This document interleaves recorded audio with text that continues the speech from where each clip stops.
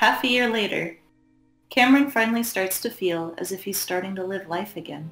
Hmm.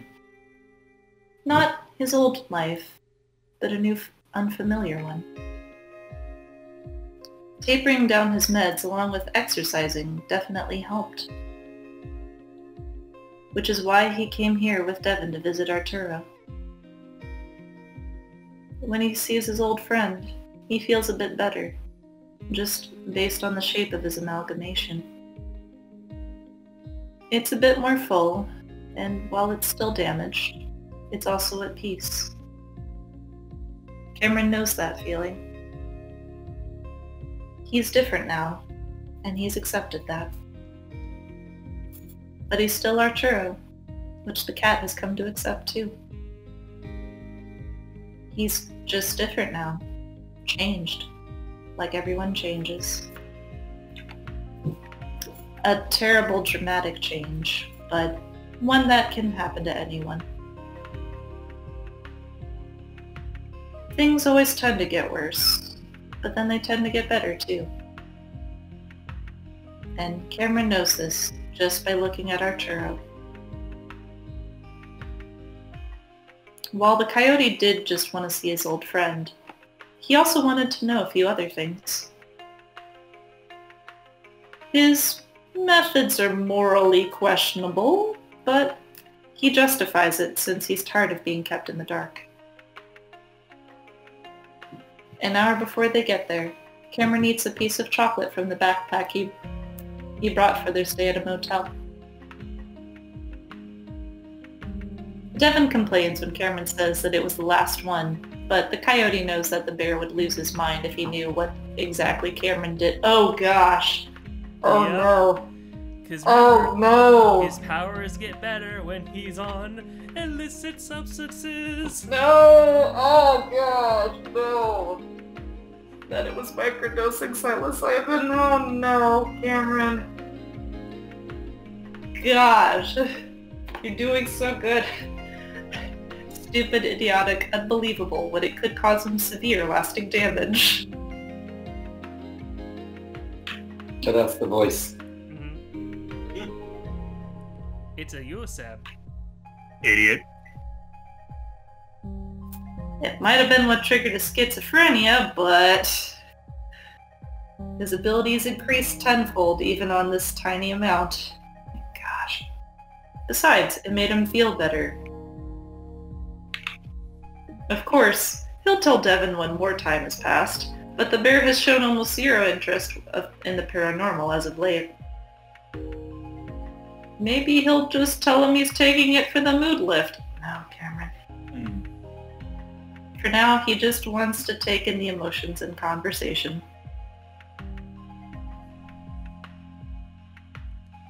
Hey Matt, guess what? You got your character. You get lines. Yes, my boy's alive. Yay! Is that Maslow's hierarchy that he's wearing on his shirt? it's Maslow's hierarchy Arturo of was needs. I have- It says, I have needs. Which is funny because, Arturo- you know, he does. Arturo was a psychology major. Don't forget that, guys. well, what, what I'm trying to do is get rid of this damn lip. That's what people m- know, notice m- most if I'm not talking. Cameron smiles pleasantly, despite the fact that Arturo is more guarded and fortified mentally than anyone else he's met, which is the last thing he'd expected. Although, dude, he was shot in the head. Well, no, no, he's talking about from like the psychic end of things. Like he wasn't expecting. Ari to be uh. defending his brain right now. Oh, okay, I see. Okay. I Just actually a scratch. notice.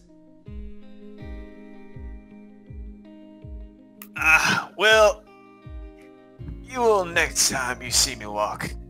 Anyway, I hear you're waiting on your m- masters, Devon? Every stutter, every struggle feels like a physical blow to Cameron, but he tries not to show it. He knows Artie doesn't want useless pity right now, and Cameron always hated it too. Uh, yep. Up at the University of Desiree. Desiree.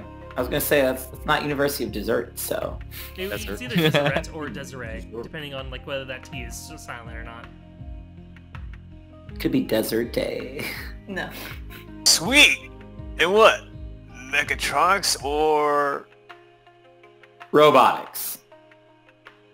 Of course. And how's that? Uh, you know, how's that progressing? Good. Just finished my first semester. And the place you're working at, they're financing that. That's really qu- qu- quick. I'm at the same company. I was always part of the plan once we moved. I still gotta graduate for them to reimburse my tuition though. No pressure. I don't know how he does it all. Work, school, cooking, gaming, and you're good at all of it. That's just like him. He'd p- party and drink the night before a final and then ace it while hungover. I hate those people. my roommate was like that. He was on the freaking dean's list and he was high every day and I was like, ow! Good dude. I miss him actually. I want to meet up with him in sword fight again. He'd get stupid high and then be like, dude, do you want a bath? And then he'd beat the shit out of me, high off his ass. And I was like, oh no. I, I actually remember when I used to have like Nerf swords and everything. I loved playing like stupid like little sword battles with my dad. Yep. Yeah, same. Cameron is close enough to Devon to see the skin flush under his fur. While some might find Devon to be overly humble, it has more to do with the sort of imposter syndrome. That's us. Cameron, kno- Cameron knows it must be awkward to be praised for not having to study or work as hard as his fellow students and coworkers. Oh, you know what? Matt's right. Artie's right. Devon's sus. He's the he's the imposter. Get his ass out of here. I immediately agree with Alan. that means DJ. Yeah, DJ off. I love how we're referencing something that nobody else gets. Quit, I mean, vote, they- De- they qu- can quit, vote. Devon off. No, DJ, he, he, he latched on too quick.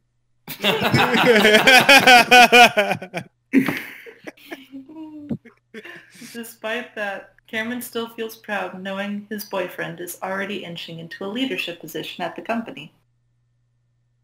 He has no doubt the bear will be doing incredible things in his career. So, how are things going for you? What are you doing these days? Aren't you thinking about going back to work at that specialized school? yep. Spectrum Solutions Academy. And I'm already back. Oh, Went- went- went back as 2020. Went back as soon as I got vaccinated. Still an RBT. Working with kids with with lo- low functioning autism. How is it? Great. It was almost like going back home. I was supposed to have like two clients, but they've got about five on me now. You know, I'm willing to bet if we talked with Sam about this, he'd be like, "Those sons of bitches overworking Artie." No, he'd he'd be like, wait, they'd be like, wait, only five? How did he, who did he kill? I would say that. They were so happy to see me, but they can tell something's a bit off about me though. Sounds a bit rough. Is your recovery still going well? Artie visibly draws into himself a bit. I like to call it a process these days. M- most of the recovery is over, I think. Oh, I see. It's silent for just a second too long. Cameron's slow response is mainly due to being distracted, having finally deciphered Artie's general thoughts, feelings, and emotions. At that moment, that guard had slipped, and Cameron realizes Artie knows he's psychic. Of course, he told him that, but now he knows it, truly believes it, and for the past almost two years, he'd realized how much of this happened because of Cameron. Arturo is afraid of Cameron. The cat senses the strangeness, the offness of who Cameron is now. Arturo also wonders if it's possible that the coyote brought a piece of Echo into the house with him. That shadow entity, it entered him and never came back out, as far as Arturo knows. Who's to say it's not still... Maybe it's like a management phase. That's what Cam calls it. Anyway, that's what Cam calls it anyway. Right, honey? Devon, probably confused by the tension, tries to add more to the conversation. That's right. That piece of shit hurt you pretty badly too, huh? Yeah, really it's the schizophrenia I was diagnosed with afterwards that I'm still trying to manage. Cameron suddenly decides to just tell Arturo about his own struggles, if only to look for some sympathy, understanding. It seems unfair not to tell him, for some reason anyway. For a moment, Arturo's expression becomes one of genuine sadness. Oh. I'm really, really sorry to hear that, Cameron. Was it from what happened? I hope it wasn't the weed. No, I think it's what happened after that that pushed me over the edge. I see. That makes sense. Do you think it would have happened anyway, eventually? Cameron shrugs. Maybe? Uh, they think I might have been in a prodromal state for years. It's obvious I was on the brink for a while. So yeah, I remember how I mentioned one of the builds was called Prodrome? Mm-hmm. Yeah, they've been hinting that this was the ending for since build 4, at the very least, if not earlier. Oh boy. But he'll never know. For that moment, though, he feels like he and Artie have made a connection. Artie understands that they have completely different problems, but they're both life-changing, and the two of them are bound to these problems for the remainder of their lives. But then Artie senses that darkness, that bit of echo emanate from Cameron again, and he mentally recoils. It's been a rough road. We managed to find some stability at the end of last year. It's such a pain in the ass trying to settle on the right meds. That took Maria a few years, I think. I... Hmm. Hey, Maria! There's some rustling from the hallway, and a young leopard comes into the living room. Maria, having been very nearby in the hall, Wait, okay. Why'd you go? So now we have Maria. I'd like to just mention this is the first and only female character that gets lines in this entire game. Amazing. But I mean, it makes sense. Like, that- it's this is not really a game that had a, lo- a large cast or anything. hmm I do think though, um, if we ever did this with like the full group, Maria probably would just be voiced by like Sam or Morgan or whoever was there at the time. For now though, because you have so many lines, Hannah, I want to know: Do you want to be Maria, or do you want Seb or uh, Fane to be Maria instead? um, I guess I could go either way.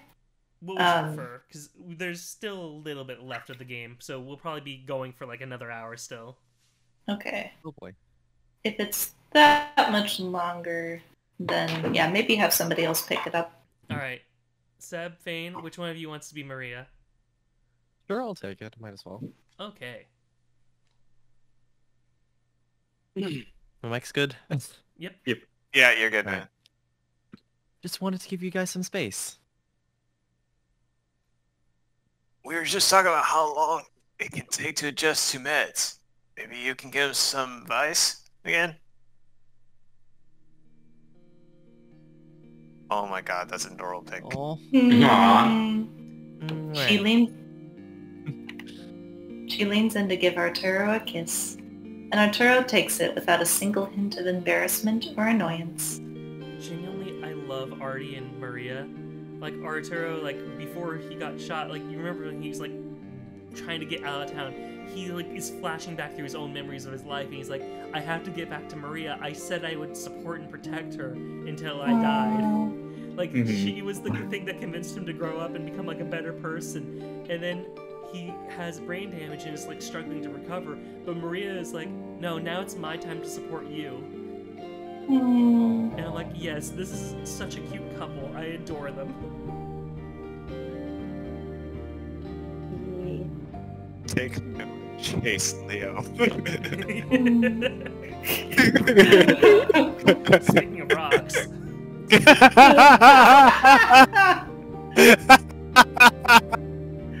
Another solid rock in Artie's life. And one, I told you. Speaking of rocks,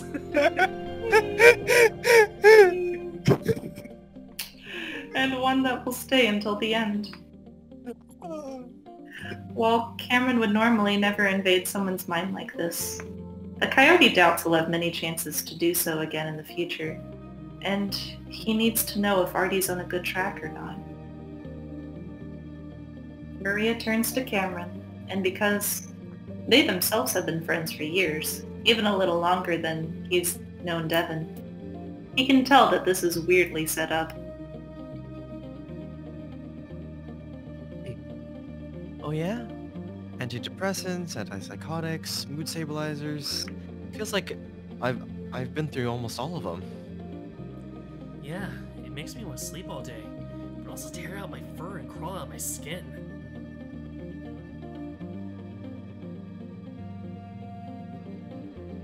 Cameron likes Maria a lot, and just like Devon and Arturo, they slip back into the old swing of things. It's nice, but he can't help but notice how he's been swept out of the conversation with Arturo.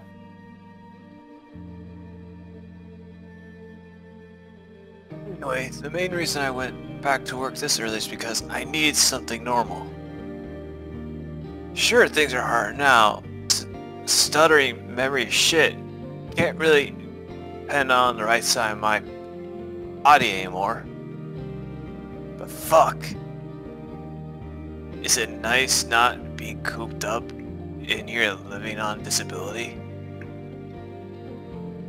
the only thing, but the only thing work has complained about is that I guess my inhibitions are a bit lower than they used to be.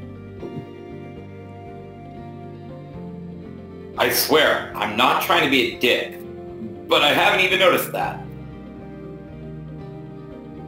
Oh yeah?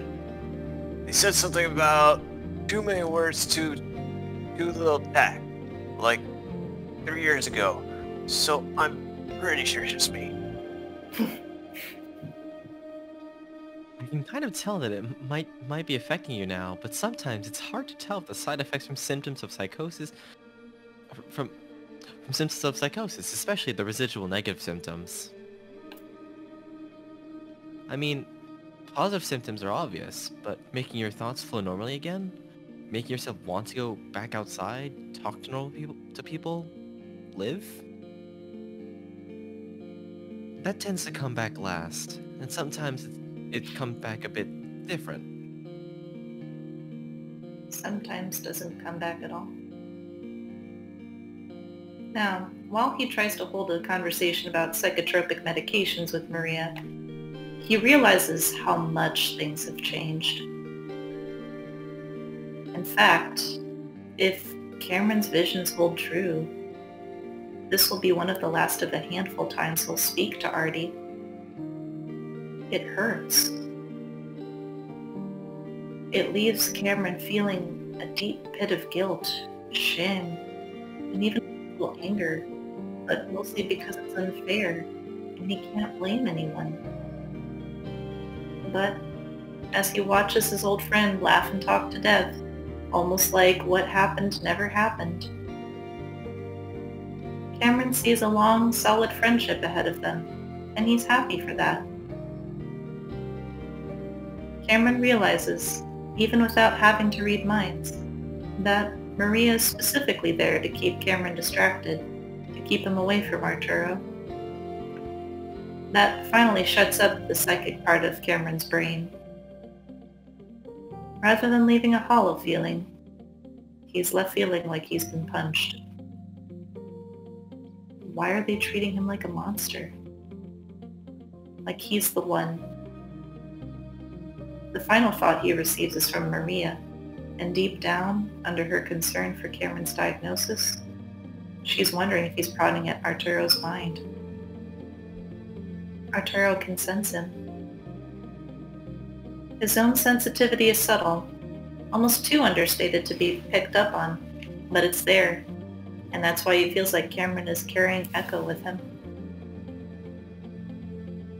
Cameron is mainly worried that Arturo knows what he's doing right now, and his neck and cheeks become warm as he feels like he's been caught in the act. Maria mentioned something about how she has tardive dyskinesia, and Cameron focuses back on their conversation, genuinely curious that if it's gotten better for her with time. And that's how the rest of the afternoon plays out. The reason he'll only see Arturo two or three more times in his life isn't because of Arturo or Maria. It's because Cameron knows he can't come back here and cause them stress like this. Cameron is no longer a part of or welcome in their lives, and he won't impose himself again. Despite the hurt from learning their true feelings about him, Arturo's future is, if he has to sum it up, a happy one.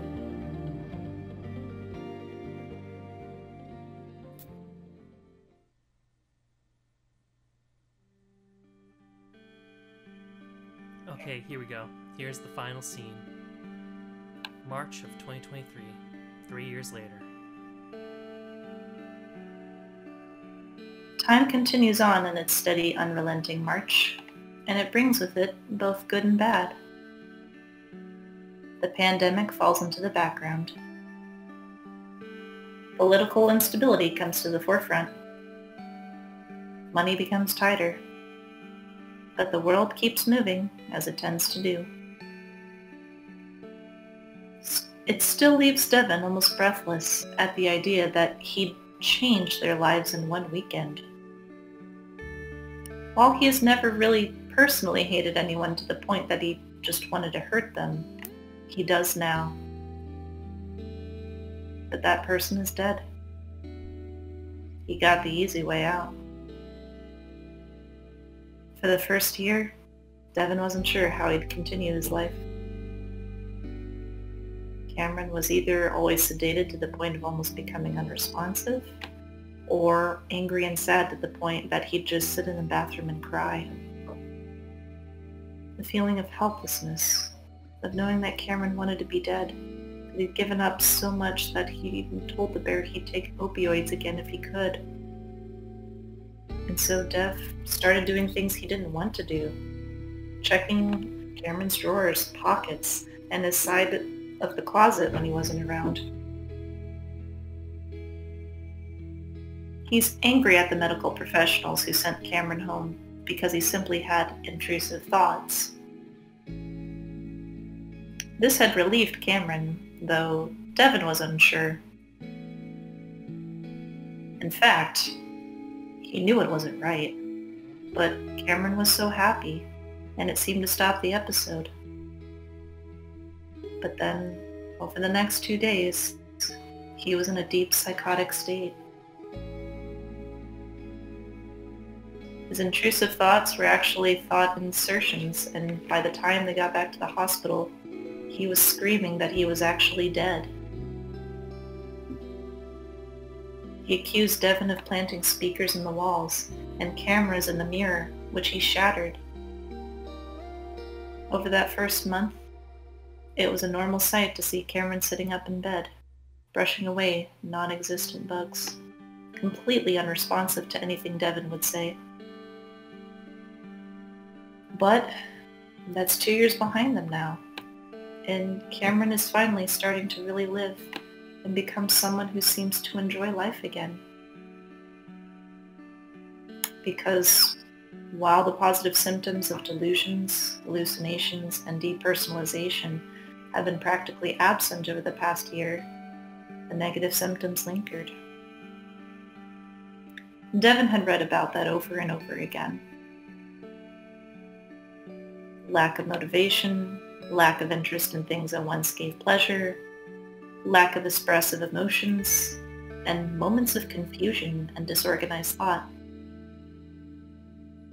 It was the anhedonia that scared Cameron the most. It scared Devon too, because what's a life worth living if you don't want to do the things you trained and aspired to do most of your life? Despite being able to listen to music again, Cameron decided a few months back to finally hang up his guitar. Cameron's paw is still weak, and it still has a light, slight tremor to it when he holds it up. But Cameron hadn't touched his keyboard either, leaving it unplugged and dusty in their basement. The sight made Devon far more sad than it did Cameron. He still wonders if he'd been more of an advocate for Cameron, maybe pushed for further observation. It could have stopped the psychosis before it truly spiraled. Maybe he'd be his own his old self. What's wrong? You reading my mind again? No, I can read your face. Devon doesn't want to bring down Cameron's mood. He's the one that wanted to come out and walk in the snow. And if Cameron wants to do something engaging and active, Devon will do it with them. It is strange that they got so much of it in March, and it probably would be the last snowfall. I'm just realizing, realizing how out of shape I am. You think I'm starting to get a gut? Like a bad one? Aren't you on the thinner side of a, for a bear nearing 30? By the way, they're both 28 now, if I'm doing my math right. Hmm. Karen makes a point of looking at Devon's midsection, and prods through it, making the bear huff. Whoa, it is kind of squishy. Devon blushes. You caught me by surprise. And you just got done saying I wasn't fat. You're not fat. You're a bear. I just didn't think I'd feel the pudge through your coat. Cameron tries again, but as expected, Devon is tensed up and there's little squishing to be had this time. Let's sit down. Devon brushes snow off a bench for them. Hey, I hope I'm not annoying you. Devon closes his eyes in guilt, taking a deep breath. No. I'm just worried about different things. I'm happy to be out here walking with you. It's good for the gut anyway.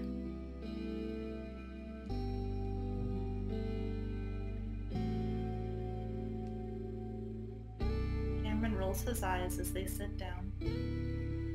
I'm getting chubbier too, you know. It happens, and I love your body. If you want to fool around tonight, I can have a closer look. Cameron leans against Devon's shoulder. Only if I get to have a look at you too. Deal. And if we deem each other to be too chubby, we can go on a diet or something. Devon finds it strange that Cameron is the one usually cheering him up now. The coyote is worried about him, and Devon wishes he wouldn't be. Still, it makes him feel warm inside, and he leans in to nuzzle Cameron. Look at this little Christmas card. As he kisses his coyote, he realizes that this is a good moment in his life. A day he'll look back on fondly. A day he'll look back on for comfort when harder days inevitably arrive.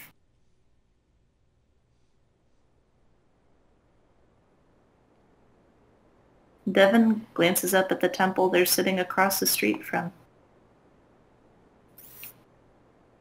I always wondered what that golden dude with a stick is doing up there. It takes Cameron a few seconds to understand what Devon is talking about. The guy on top of Mormon temples? That's the angel Moroni, and he's holding a horn. He buried the gold plates. How do you know that? Some Mormon friends told me. Oh. Cody? The bull? Yeah, You thinking about converting?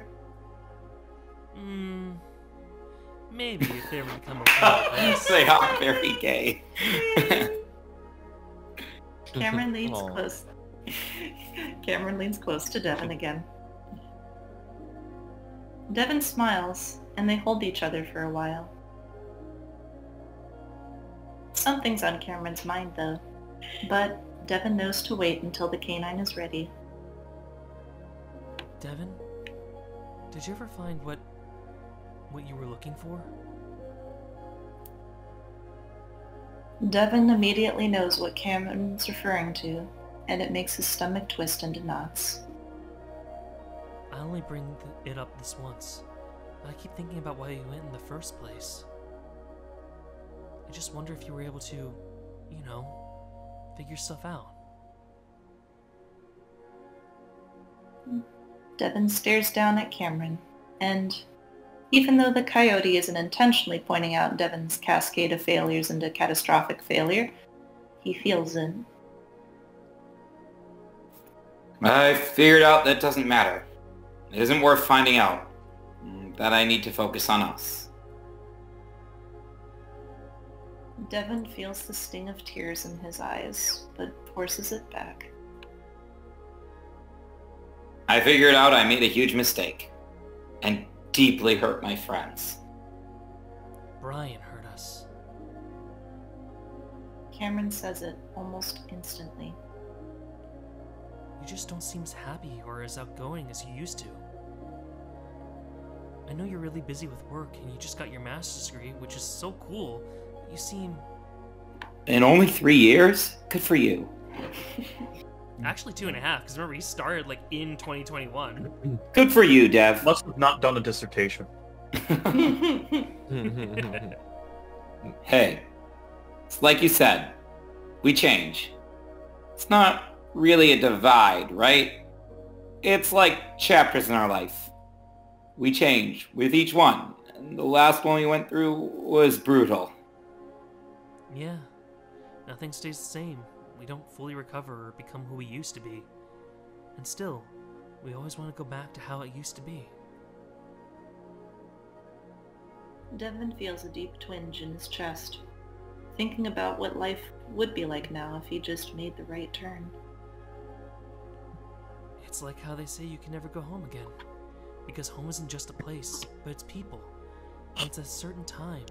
And when it ends, it ends. You can never get it back. Baby, I love you so much. And I know it sounds dumb as hell, but I can be your home. I'll be around as long as you want me to be, so you can always go home. I always will. Sorry if I was sounding depressing. I honestly feel at home with you. You're the only home I've got. But you know what's weird? hmm I sense a lot from that temple. And I've sensed it in other spiritual places too. Like the Buddhist shrines in Huaxa town, and even the little shops where you see mediums and psychics. It feels like they're taking in energy and letting energy out too. Like a portal. Huh. What do you think that means? I guess that there's hope for everyone. Lapita, Artie, you and me. And maybe, instead of nothing, there's.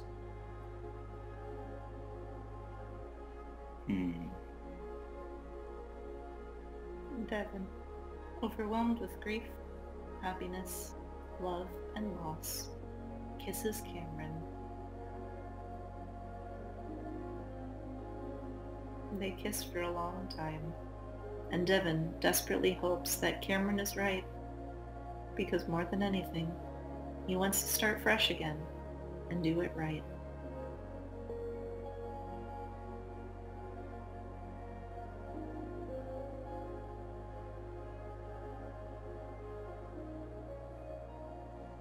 For now, though, he's here with his husband, sitting and watching the snow fall silently, and that's okay. Because whether they disappear forever or go somewhere else, it'll be together. Devon feels a little hope reignite in his chest. There might be something.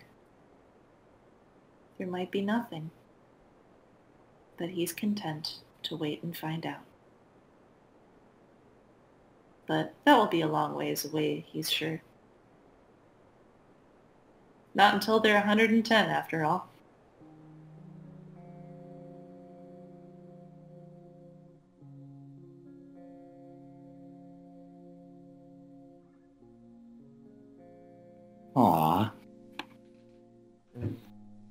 They don't walk off into the sunset, guys. They walk off into the snowfall. I will admit that moment when when Cameron says it's like there might it's like so there might be something and then um, Devon kisses him actually made me tear up a little bit. I was like, um, let me interrupt your train of thought. Like, no, mo- no more spooky, silly, spooky, spooky, dangerous things. Let's, let's have us. Let's Yeah. be in the moment. hmm I really like that.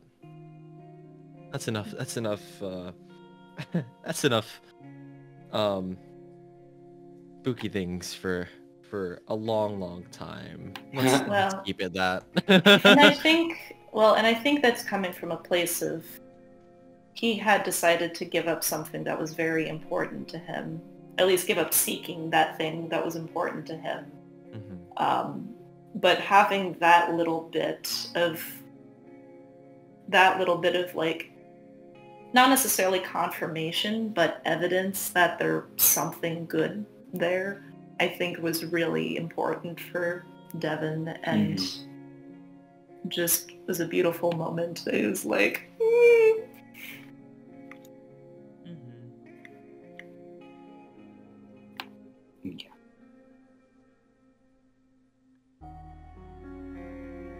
Sorry, I'm just kind of recovering a little bit because the ending still gets me. Well, and I think it's beautiful because the entire epilogue we've been watching Dev desperately take care of Cameron in a beautiful, if stressful and horrific way. Mhm. And then we get to watch Cameron take care of Dev. yeah So it's so we their relationship is not one-sided.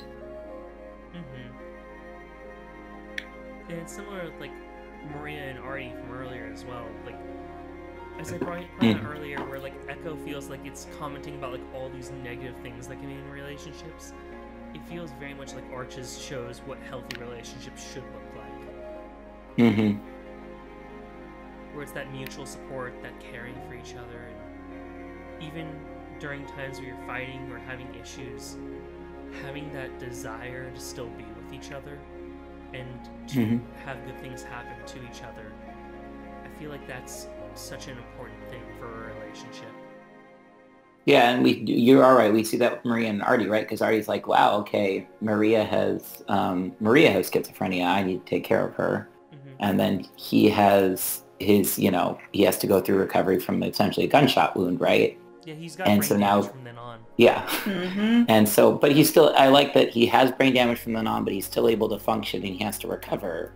And yeah, and like, and there's still like, And Uh, she, and now of the she's helping him recover, yeah. right? and that's kind of one of the beautiful things is like you do still see that he has some impairments from this and he's still working through that process and yeah she's supporting him through that and that's beautiful I'm also like, I want them to like, you know, just walk by a UCC church or something.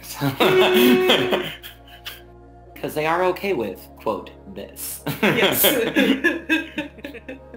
well, I mean, that's the thing is like it's fascinating, and this is actually one of the things I really do love about like the writers for the Echo Project is it's very obvious that they can see how like people have used and brandished religion as a cudgel to like be mean, horribly oppressive to a whole bunch of different people and groups, but they also recognize that like religion as a whole doesn't have to be a negative thing. It can be good. It just depends on how you use it. Like they Yeah. purposely made TJ like the one and only really religious character in Echo for a reason. and also the one and only, like, in his route. So in everyone's route, they usually turn into the bad guy. No, no, no, no. Not in TJ's doesn't. route. nope In TJ's route, Chase turns into the bad guy. I And you're like, oh, did become the bad guy in his own route. well Chase became like- the bad guy really in Flynn's route. If any. Yeah, also in Flynn's route, I guess. but like I still am think enjoying the image of about that. Ingena's right route right now. Uh, TJ and and, and Flynn are the only hanging out together. Like, Yeah. where did our friends go? yeah. Yeah, and don't forget that TJ's having a mental breakdown right now, and Flynn is out there wondering where is all my friends. but no, I, I I'm glad that they did that. I would have, I as I said, I felt like I didn't mind Brian existing. There was about a build and a half there where I'm like, oh gosh, I'm watching my characters get punched for the 50th time. so kind of starting to get desensitized Yeah. to that I really liked how it ended. The so the, it ended in a way that was very satisfying hmm for the themes that I was appreciating about the game. hmm That like, and so I, I enjoyed that, and I enjoyed that it did that without giving us answers. Right? We still see uh, uh, Deb and Cam struggling. We still see like leading up to this beautiful moment. We see they're both still feeling kind of like shit. you know, right? Like it's not like, oh, we're all happy now, but it's not. but they've made a lot of progress since they they first started out after the event happened They don't wave a magic wand and feel better. no but they also completely- aren't. But they also aren't stuck. Like we don't close the game watching them just hate everything. Can I can I throw out though like the one thing that honestly still kind of like almost makes me tear up thinking about is the line of like Devon just sits there with his arm around his husband and like they kept talking Yeah. about at the beginning about like how maybe they would get married or something if he had just Yeah. turned the other way. It makes you like think maybe they're not gonna be together. And that's why I kept asking you guys, do you think this is gonna end happy, sad, or bittersweet? And like I'd say this is bittersweet, but leaning towards happy. I was gonna say in a weird way, it's kind of just a happy ending. Yeah. Like I was It's- joking, I'm like, oh sure, it will end with them walking off into the sunset, and instead we get this romantic like Snowball blowing scene. snow, and I'm like, that's kind You know of what? like walking off into the No, sunset. I get it now. I, I, this is what I want to say about it. It's not bittersweet. It's realistic, but happy. yeah Like I- Yeah. people use realistic to know, like, oh, it's sad, depressing, and like, oh, doom and gloom. Like that's not realistic. Realistic is just there are good and bad, and like Yep. yeah I I love And- stories like this that showcase that both sides of the coin exist. Yep. like there are struggles but there's also hope and Mhm. happiness too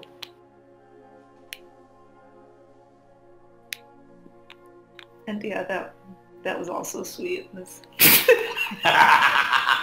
DJ's laughing at me because I'm tearing up. No, no, I completely understand, Hannah. The first time I played this, I know I like teared the heck up and everything.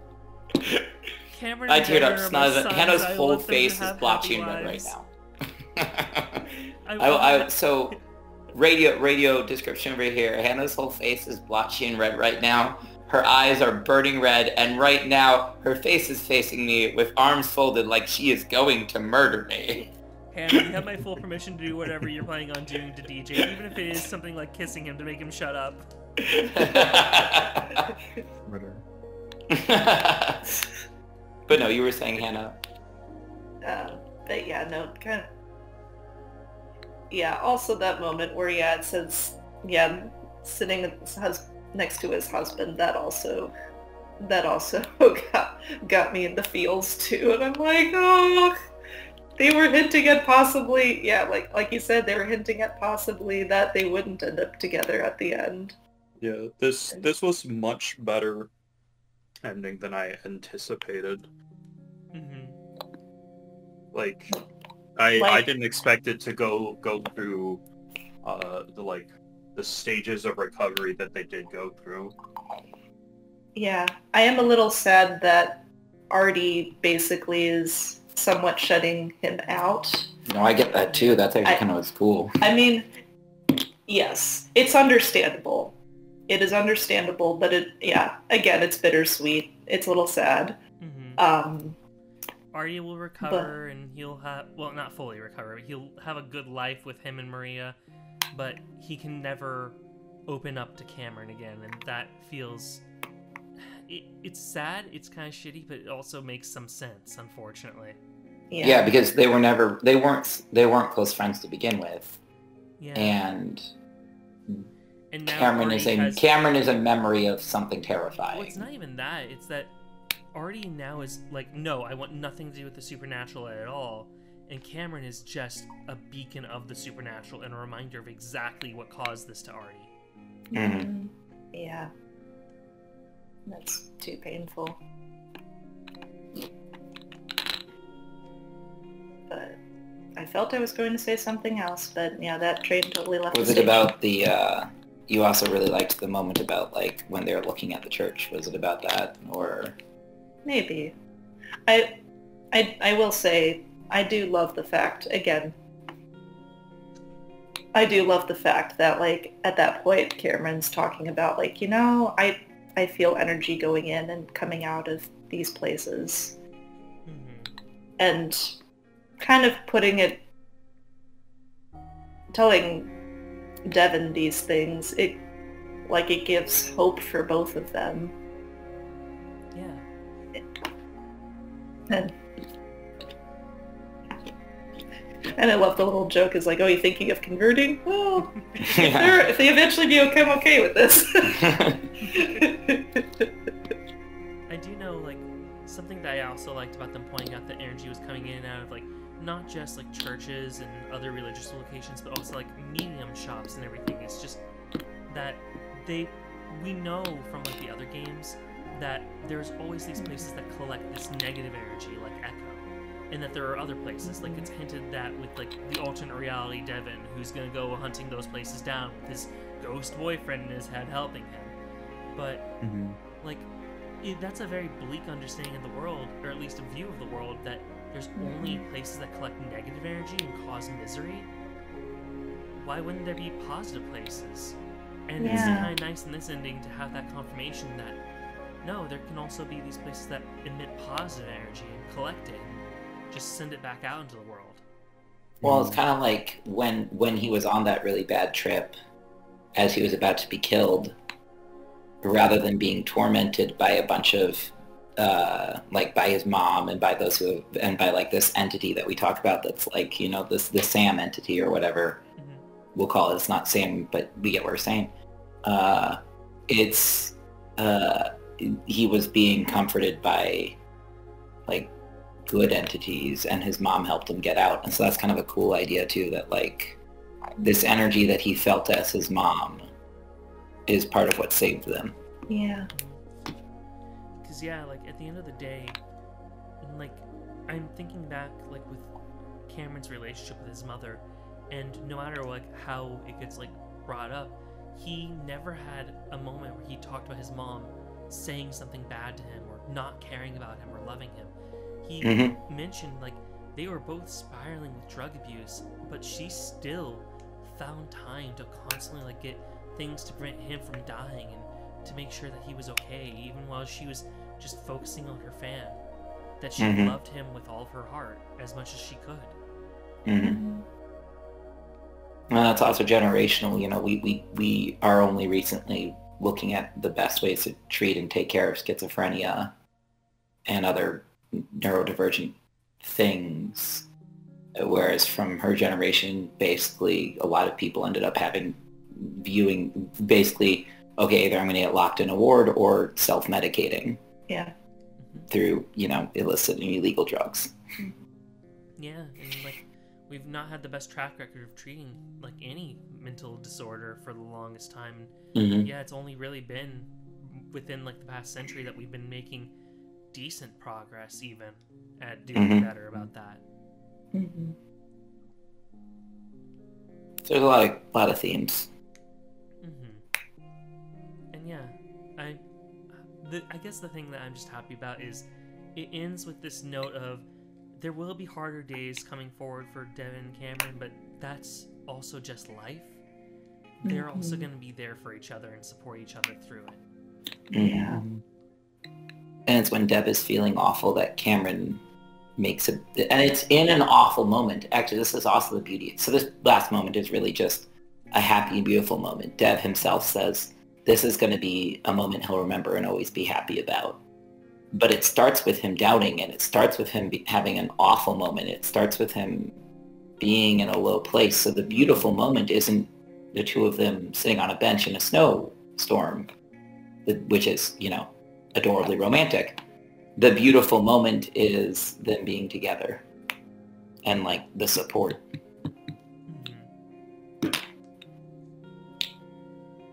Also, I do love the callback to at least until they're 110. which I know like they made like that joke and everything in like the beginning, but like that's something that I've been like taking with me now, and I've been like going with like I want people that I care about to live until you guys are 110. Like everyone in this call, you're making it to 110. God damn it! You're not allowed We'll try. Before then. We'll try. So I'll be here for like probably a solid 20, 30 years more than y'all have been. Oh, you're gonna deal with that Fane. You're not allowed to go until you're 110. that, ma- that, ma- that like I, I I heard. Now that makes me sad because also Also, how much older do you think we are than you, Fane? You said 20 to 30 years. Are we gonna live to like 130? I- i- Is it okay? Is it okay if I ask you what your age is? we're not. Hopefully, we're not 20 years older than you. You're gonna make me feel real old. oh not 20 to year 20 30 10 mm, 10 to it would be 10 to 25. Thank you. Okay, I'll just say this. I know there's a 12 year age difference between Fane and myself. Okay. Alrighty. yes, because Which is which is still a little weird. Making No, I me know, I feel know. old over there. I That's why I am was like I, 20. I am I am Gen Z. I mean, I'm a millennial, so I'm actually like a tail end millennial, and I think you're either tail end or near end of uh, Gen Z. Uh, Mm, I think I'm still mid-Gen I'm Z. I'm I'm mid Gen Z. Okay. yeah, Um, I'm early mid Gen Z. Yeah. I I had a conversation with friends last night on the on a whole thing about generations and consumption of media and that Gen Alpha is the first generation to actually watch um to place their associations and affiliate and like memories in user-based content instead of filtered broadcasted content. Hmm.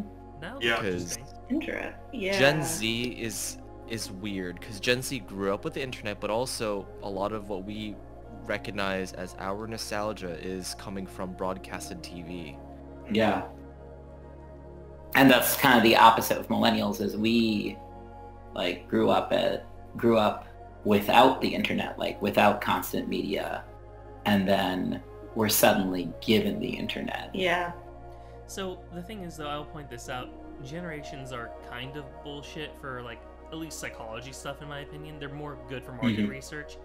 Um, the reason why I bring that up is like my own family is a huge like monkey wrench into the generations theory. Um, Yep. My stepdad was born the very last year that gets classified as boomer. Um, my mom was born the very first year that gets classified as Gen X, and I'm born on tail end of what's typically classified as Generation Y.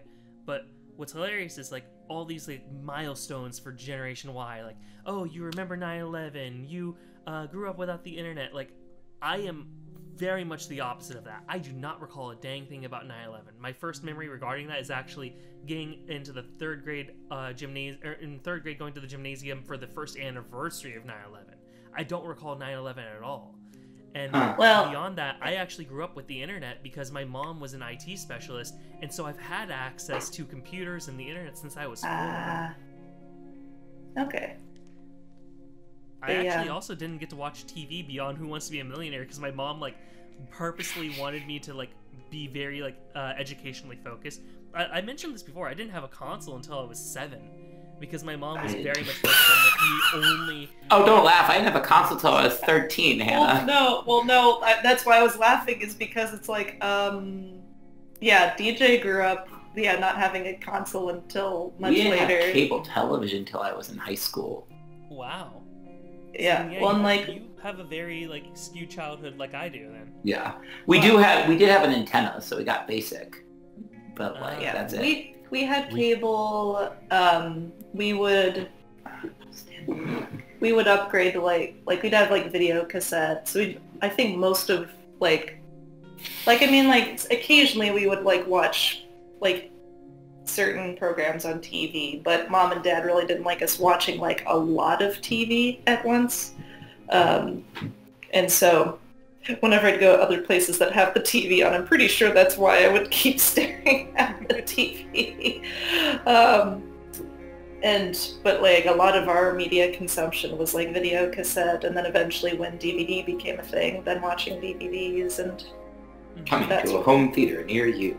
yes, Oh yeah. I, I, we had like sporadic cable because my parents were like, "Oh, now we can afford cable ti uh, this this time," and it's back to not being able to afford cable. Whoop. Uh, so we had like sporadic cable. I'd have it for like some months, and then there were like big uh, stretches of times that I just didn't have cable.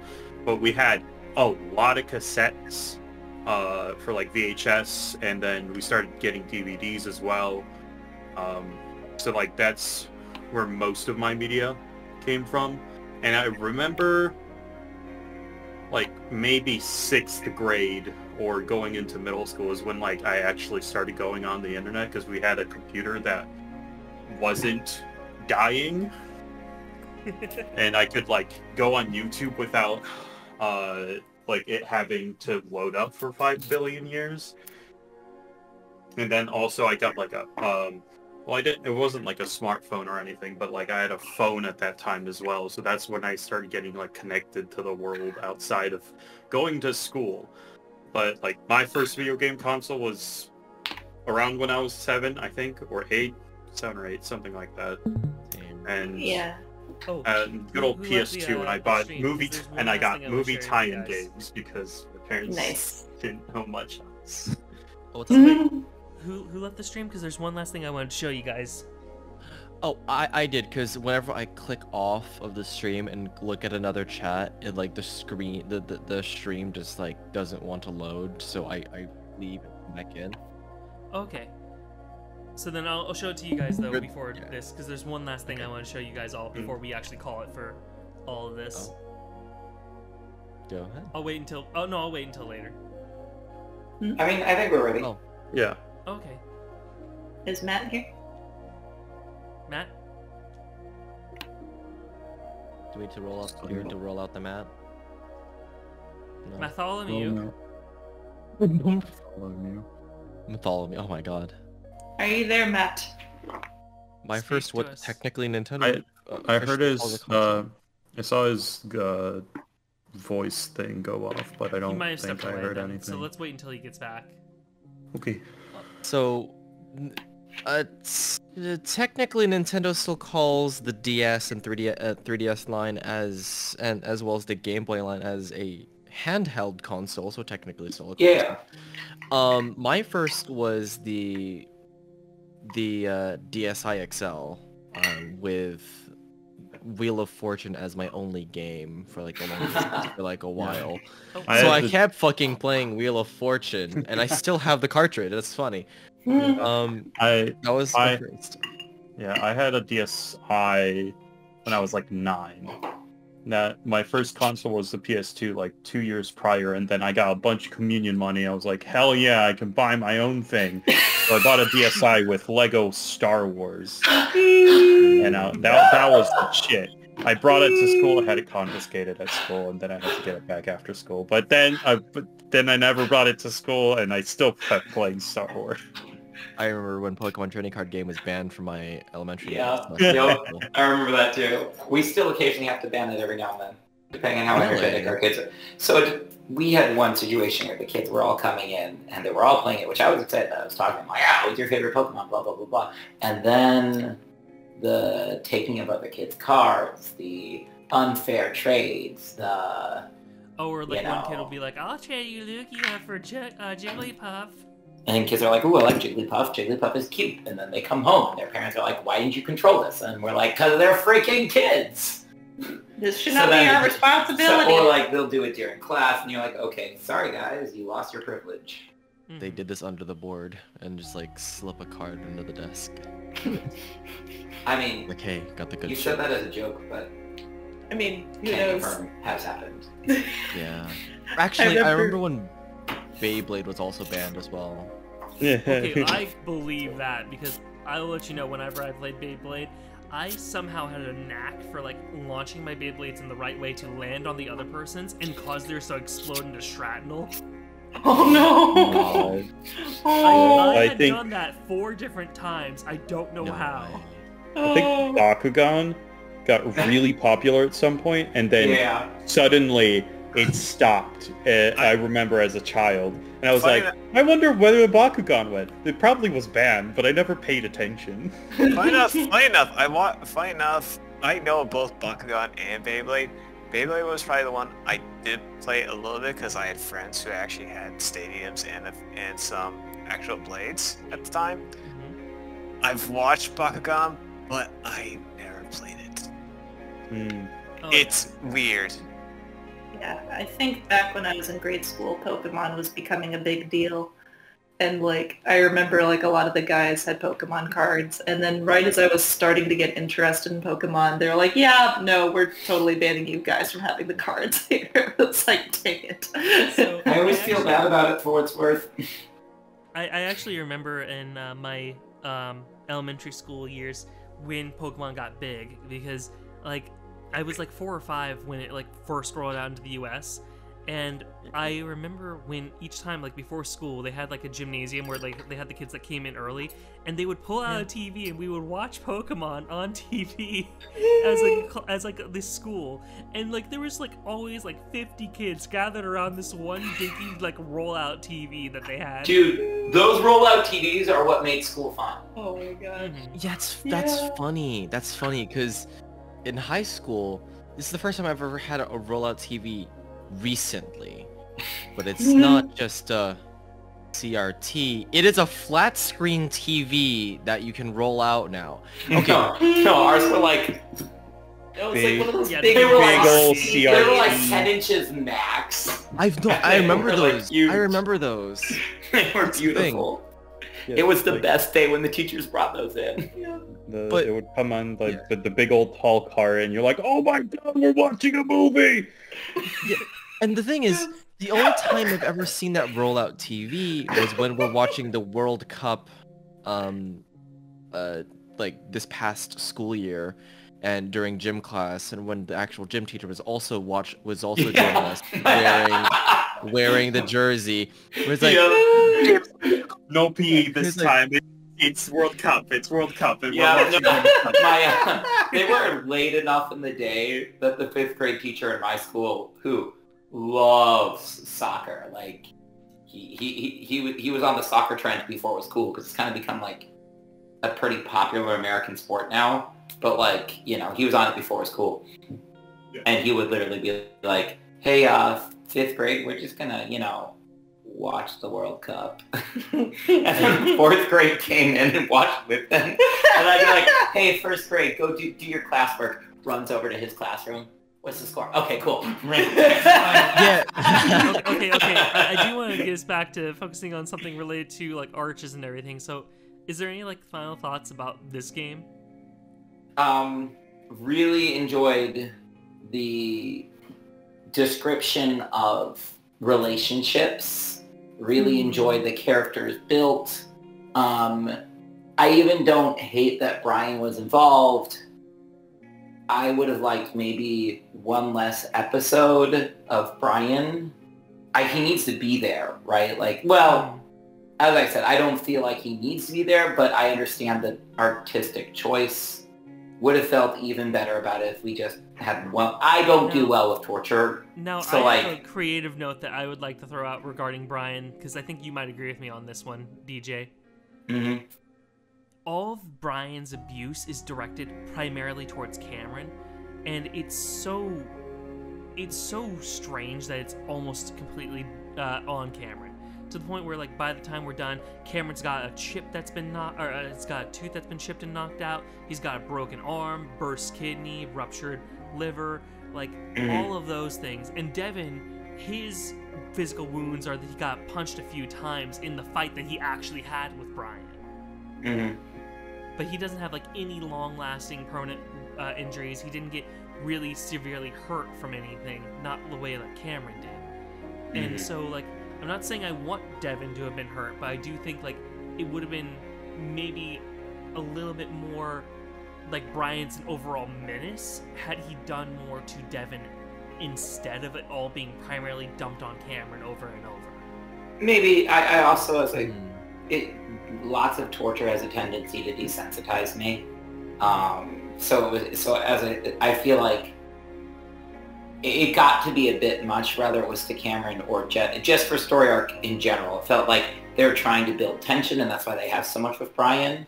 But I felt it almost took away from what makes this game beautiful when it was just it was like three whole episodes of like just watching our characters And that's because of the way get the the shit punched out of them, right? Once- Like, once we do like the uh, playthrough with everyone else in the future, which will happen once we get through like Ocarina of Time, like then we'll, yeah, we're gonna play through Ocarina of Time once we finish up Echo. Once we finish up uh, Ocarina of Time, then I'll bring in Arches for us to play as a group on Tuesdays. Mhm. Because this was always meant to have been like a like one-off thing. I wasn't initially planning on us doing like a full playthrough like this that we've done, but like we we realized we had like a fun like chemistry with like this small group, and I was like, yeah, let's keep going for it. Mhm. yeah, I'm glad we finished it because I, I, it is. I I wanted there to be a meaningful end story, and it really felt like it wasn't going to get there, and it did, and I was very pleased by that. Yeah. Mhm. Game. I Mhm. I do think that like the the three separate builds of just torture probably just more so has to do with not only the duration of time that you're invested in like seeing what happens next. I think that like once you get once you go through with like a lot of it back to back to back, you kind of just are immersed that you're trapped. You don't you you kind of like lose sense of is there gonna be anything is is there something after this like you kind of just like what's next it's more torture um Yeah, I- 'Cause- I, think that this is also like an issue of just it being that these builds are the way they are. They they're broken down and like the amount of it I think is fine. It's that for us in real life, we got to see okay, we ended on Cameron and Devon being tortured. Two months later, Cameron and Devon are being tortured. Two months later, Cameron Yeah. Cameron and Devon are still being tortured. Yeah. and like it, it's when it's played all as one it's probably really li- realistically going to be like three hours of them being tortured which was which would be like equivalent to like what we saw with like chase uh, or somebody else Oh, in, like, yeah. uh, echo and like it's intense it's impactful it hits hard but like i'm imagining like oh if i was playing those builds at when they were coming out it probably would have felt like months of this character being tortured yeah Yeah. Yeah, okay, that might That's be fair. it because That it is did. It did feel like there was a point. there was a point where I stared at Hannah. I'm like, where did this where did this game that I really enjoyed the beginning of go? Because I'm watching. Because again, a lot of torture will turn me off in a, in a game or a movie pretty quickly. Mhm. Like even adventure movies, like, and it, it's a healthy way to to give consequences to your protagonists, right? It's a healthy way to like drive plot and make it so that this isn't just them prancing around in the woods learning about paranormal stuff, right? Like, or it's a healthy way to make it like, hey, James Bond is trying to get information, but you know, stuff happens, right? Mhm. But also it's just, it's painful to watch. So when you're watching it for three sessions, you're like, oh gosh. Yeah. and and that's the thing is we made it like a big thing each time for us. Like you guys would have to physically come over, so like it sticks in your head more. Mhm. um, for especially like those early sessions where we had to like do this and like the fact that it like kept going for months on end. And Yeah. that's also why like when we did this final one, we had a four month break this time. It like hit really hard for like, oh yeah, wait a minute, there is no torture this time. There is no Yeah. fighting Brian. I had, I had genuinely forgotten whether or not Brian died in build seven or if he died in build eight. Yeah. Yeah, and and Yeah. and then we and I also another thing that I thought was really beautiful was it didn't ever answer the Lupita question, and I really like it when things, as a person of faith myself, I enjoy when media doesn't give cheap and easy answers Mhm. to faith and afterlife questions because to me that that cheapens what it is right that's I we you know that's what can make often like I don't know things like Know Christian rock or whatever sometimes feel a little bit like superficial it's like that's not diving into those little bits that are hard and I think this did a good job of that and I think also um when it comes to like use of faith that's another reason I really liked um uh, Night in the Woods. The way Pastor Kate is like, I doubt things sometimes myself too. Like, I don't like it when things are just resolute, when it kind of looks at these like gray areas without answering questions. Oh yeah. All right. Um, I want to check with Seb and Matt. Do you, either of you have any thoughts regarding arches before we, show, before I show you guys the last thing? Seb. Um, Sorry, my mic was my mic was strong because I had to okay. step away So you were sec. saying you were saying something, Matt. Okay, go for it. Uh, anyways, yeah. I mean, I thought the story was really good. Uh, it was very, it's definitely interesting, like seeing the state of Echo in um, when in 2020. Oh yeah. Mhm. Um, and I also liked how that it's. I also really respected the relationship between uh, Devon and um, Cam. hmm Like they, it actually looked like they were actually trying to make everything work despite all the like conflicts and, and falling outs that they did have in the Oh, story. Instead of just Cameron outright sign just like ghost him and never talk again. Mm -hmm.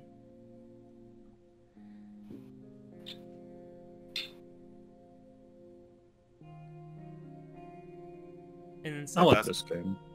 Okay. Like, uh, TLDR, I like this game. There's a lot about this game that just shows good stuff in what, uh, in like a bad situation. Because like, even even though this shit happens to all of them, they uh like may uh like Artie uh Artie doesn't trust uh doesn't want to be around Cameron because of the whole psychic thing, but like they all get past whatever happened. Like it's still in their life, but they learn to live with it in a very healthy way. Mhm. and this is the healthiest I've ever seen any protagonist of the Echo Project. I, Yeah. no, you're not wrong. You're really not wrong because there's only. Uh, and without Uh, spoiling things, the main ones we follow then are Sam, Chase, and Cameron slash Devon. Cha- But I Chase, Leo, and um Kudzu in Leo's round have a a- at the end. At the end, hear me out. At the end, are, are a close contender, but you are completely oh, correct. oh, This is a good healthiest. couple. I thought I thought uh, Steph was just saying for like uh, healthy protagonist. Healthy protagonist. Oh yeah, no, no, They no, are- hell no. That is probably They the are healthiest, yeah, going seen at this through whatever they're ha- they have to go through in in a hectic but good manner, relatively speaking. They're not Leo and Chase uh, about this. They're very just like, Jesus Christ, stuff is happening. Uh, fuck, goddamn. And then after they got get out of that situation, and they have some hardships, but they're still they still love each other, and like they know they have to get through this stuff. Otherwise, it's just it's going to get even worse if they don't get themselves out of uh, whatever hole they've fallen into. Oh yeah, I, I will say as well. Like one of the things that I personally liked about Arches is that Artie, Devon, and Cameron all felt like they made sense for why they did the things they did. There was never a point where I'm like, "Are you fucking kidding me? You're in a horror situation. Why are you doing that?" yeah, like I never felt that for any of the three of them. It felt like, okay, no, that makes sense. You're trying to protect this person, or it makes sense. This is like your personal journey and arc that you're going through. While like I Mhm. look back on like Echo, and I love Echo, but Chase is the worst sometimes in a horror situation. Chase is very much so a horror protagonist. Oh It's yeah. Sam. Hiya, Sam. Hello. Sam. Uh, so we just wrapped up Arches, and we're just kind of talking about and wrapping up on our thoughts before I show like the last little fun touch that happens in this game when you beat it. Um, but yeah, we were talking about Chase and how he's a terrible protagonist in some capacity. I love Chase. I love voicing him. I do think he's an interesting character. He makes some dumb decisions in certain routes, and Mhm. Leo's route's the one that I always think of, where, hmm, I just got away from a sociopathic bear, and we just rescued uh, Leo. We're here with Jenna. Hmm, should I go outside by myself to pee against the side of the trailer, or should I just pee in the fucking sink? I'm gonna go outside by myself. Yeah. Very safe. Like, I get why they had to have that scene and everything to like get Chase captured by Brian, but my god, that's such a "Are you fucking kidding me?" moment. yeah, it's like, couldn't you have like, was Kudzu there? Like, couldn't you have? Kudzu was there and he was watching from the door, and but the thing is, it's Brian. What's watching from the door gonna do unless you're pointing a gun in the direction? That's fair. That's fair. I, I was going to suggest Kudzu come out there with him, but I guess even then that might uh Yeah, then he Not just be- grab both of them. Yeah. and like yeah like i mean that's that's its own thing and speaking of like the protagonists like sam is an interesting one as well and it's fascinating to look at sam in the smoke room versus the thing that claims to be sam in echo like they don't feel like the same person to me Yeah. And we kind of get like a hint of that with Cameron in that last part. Mm-hmm. oh yeah and then like uh I, I also wanted to throw this out there because we were talking about like the alternate universes uh, type of deal Mhm. Well, while there may be two different timelines now from like the ending here of Arches, there is definitely like at least eight different timelines in Echo at the very minimum. Yeah. And then we know for a fact, uh, because even though Smoke Room's not done yet, there will be eight endings. There will be four good, four bad, from the very Mhm. minimum of what I know. Okay. and I- I'm very much looking forward to seeing how that plays out. And uh, one of the things I'm also very happy about is now with Arches complete, two out of the three games within the Echo Project series are done, and this also means then uh, who's making the clanking noise? Sorry, Oh, okay, sorry. I was fidgeting. Okay. Um, this means then that when people read the Echo Project in the future, we can have debates about what's the best way to engage with the Echo series. Mm-hmm. Chronolo- chronologically, meaning start with the smoke room, move to Echo, end on Arches. Reverse chronology, where you start on Arches, go to Echo, and end with the smoke room. Or release order, Arches or Echo, and then either the smoke room or Arches. Because yeah, our introduction was basically you were like, "Hey, look at this! Look at this beautiful game!" And like we got the first build of arches, and we're like, "Wow, this is like this is incredible." hmm And I, I'm very much a proponent of. I kind of like the idea of doing reverse chronology, because it, you get you get questions raised from arches that then Echo can answer, and there's some questions in Echo that I'm almost positive are going to be answered in the smoke room, Mm-hmm. Yeah. and I genuinely love that. And like, but you can also do the reverse where you like see like these things show up then later on in the later games, and oh, there's that train. I have a train. That's me, I think. Oh no, it's all good. It's all good. It's kind of fitting though, because you know there's a train that ran through Echo. Yes. Trains. You like your legs? Oh God. But yeah, genuinely, I'm very excited to see what happens when all three games are fully released. To see like what's the recommended uh, play order by like the fans. Because my own personal one that I'm leaning towards is reverse chronology. I started with Arches first, and then went back to Echo. And I, I'll say though, like I technically beat Echo first before Arches, but that's because Echo was fully complete by the time I started playing Arches. I got through build two, and I loved build two so much that I was like, oh, well, I, I need to know what happened elsewhere. And it's fascinating to start from Echo is a ruined town, and then go back and see Chase and his friends in 2015, knowing in five years this town's going to be a hellhole, and that it's basically all done. And you're now you're playing like all of Echo, wondering how does it end up like that? Mm-hmm. Yeah. So i- it's a fascinating thing, and, and genuinely, I I feel like Arches is the strongest of the three, but it's also, in my opinion, because it's the shortest. Mhm. Yeah, it's the most refined. It's uh I will almost want to not sure e- edit is is the best term, I guess. Yeah, it's it's gone through like the most like Polished. Rewrites. I feel like in like p- polishing, editing process, and I think like it's only possible because it only has the one playthrough. There is no choices. We make no decisions. It's just this one story. Mhm. but it's so worth reading the story.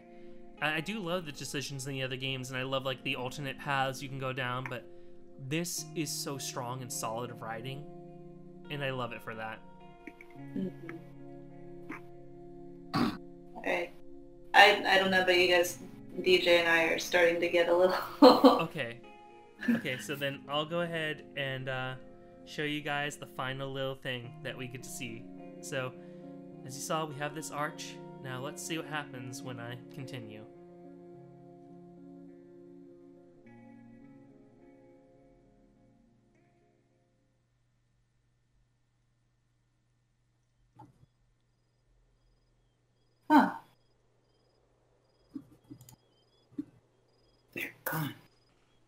Dark.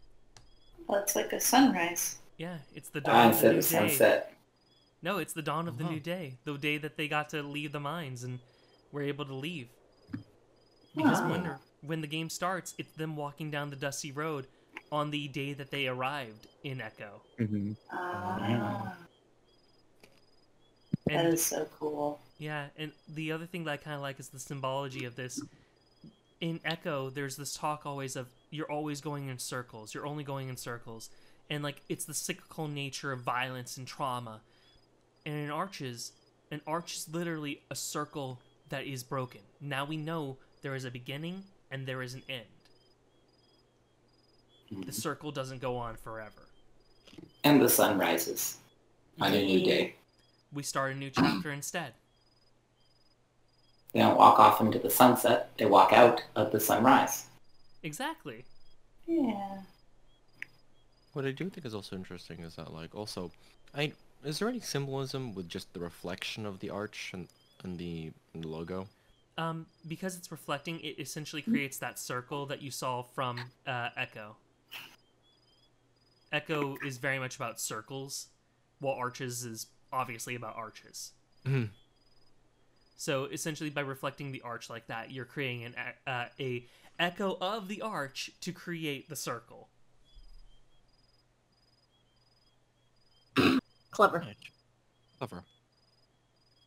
All right. Any last thoughts before we wrap this all up? All right. Well, then, for the last time here for this first playthrough of Arches, say goodbye. Bye. Bye.